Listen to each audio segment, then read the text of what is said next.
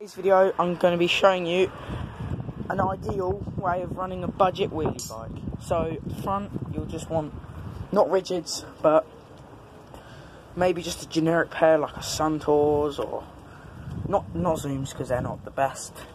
But if you have suspension lying around, have the best suspension possible.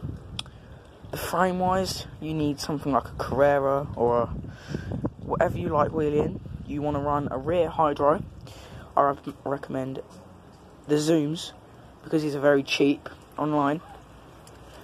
You want to run a stubby stem with like a few millimeters distance, and you want the seat like at whatever angle you find perfect. The rear tyre you want to be thick, um, not single speed, but with gears. Um, it's ideal. If you want, don't want to run front gears, don't.